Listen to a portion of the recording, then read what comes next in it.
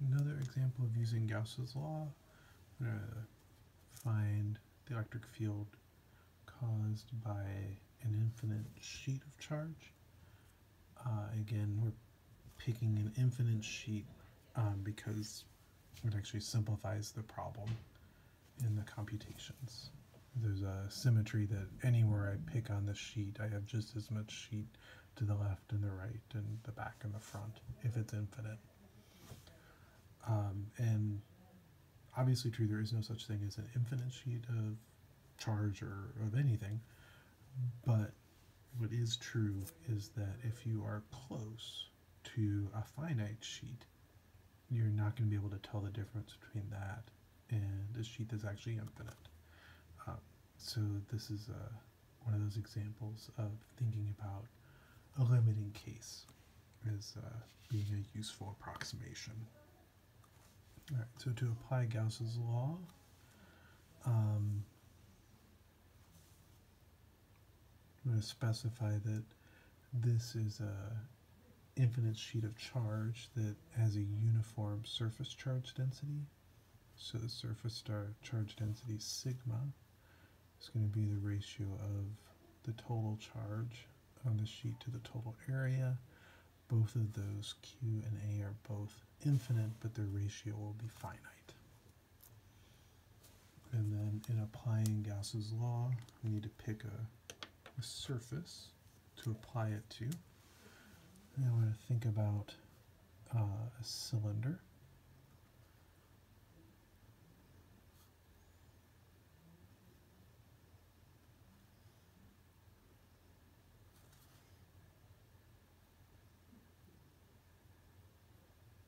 That's going to tell us what the charge enclosed is, is how much charge is in there. The cylinder is going to have one cap at the top, and it's going to have another cap at the bottom of the cylinder. So go ahead and label those. So our closed surface is going to be made out of one end cap.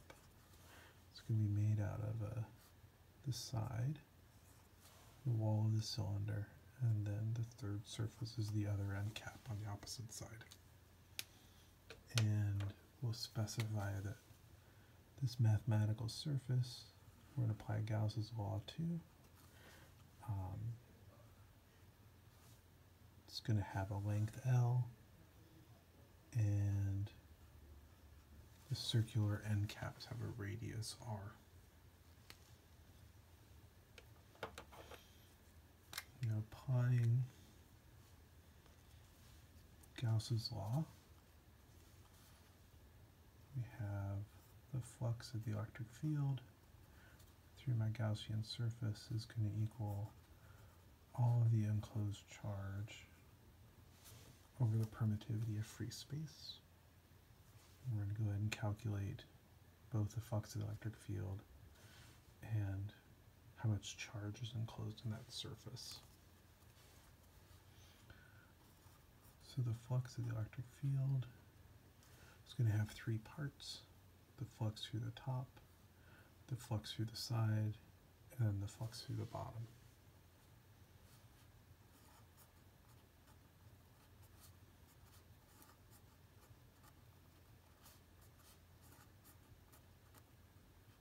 So the flux through the bottom. Now, the electric field lines, let's go ahead and trace one out. They're going to run perpendicular to the sheet. They'll begin on the positive sheet of charge and extend perpendicular away above and below. And since we picked an infinite plane of charge, there's no uh, reason that that electric field line could tilt to the left or the right or into the page, out of the page. It has to be exactly perpendicular to the sheet of charge. So with that, there can't be any flux through surface 2, the side of the Gaussian surface, because there the electric field lines are going to be parallel to the surface, so none can pass into my Gaussian surface or out.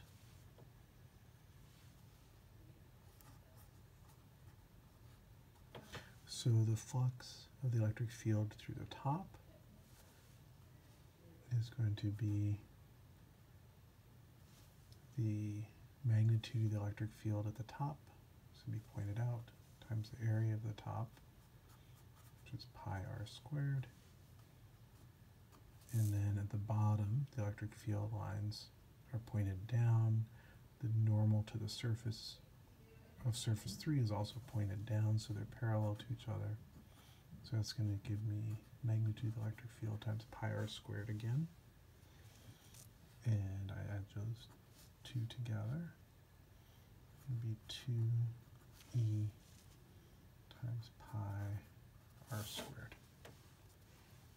All right. We also need to know the charge enclosed to apply Gauss's law. So the charge enclosed is going to be the surface charge density times the area of that green circle. So it's going to be sigma times pi r squared. So now we have everything in Gauss's law. I just set up our equation. 2 times the magnitude of the electric field times pi r squared is going to equal sigma pi r squared over the permittivity of free space, epsilon naught. So the radius of my cylindrical surface is arbitrary. It's on both sides of the equation, so it cancels out. Pi cancels out. Just move the 2 to the other side. And for uh, an infinite plane of charge, we have the magnitude of the electric field is going to be sigma over 2 epsilon naught. And then in terms of direction, if it is a positive uniform sheet of charge, the electric field lines are going to point away from it. And if it's a negative sheet of charge, they would point in towards it. And this is the case uh, for the infinite uh, plane of charge. You get an electric field that is uniform, so it does not depend on distance away from the sheet.